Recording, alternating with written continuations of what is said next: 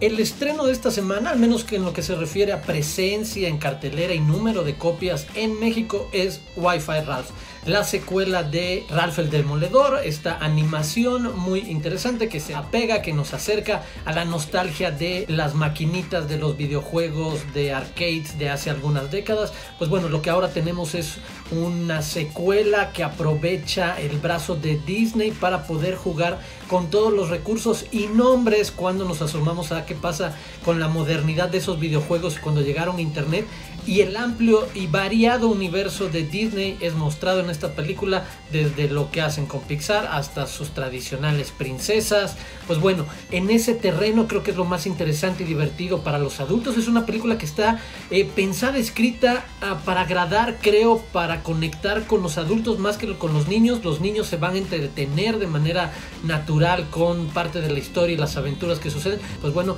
la recomendación de la semana para quienes buscan un poco de cine de entretenimiento en la cartelera nacional. Yo soy Arturo Aguilar y nos vemos pronto aquí en el siguiente comentario en GlukeMX. ¿Te gustó este video? ¿Te entretuvo? ¿Te pareció interesante? Pues muy fácil, suscríbete para ver más videos así.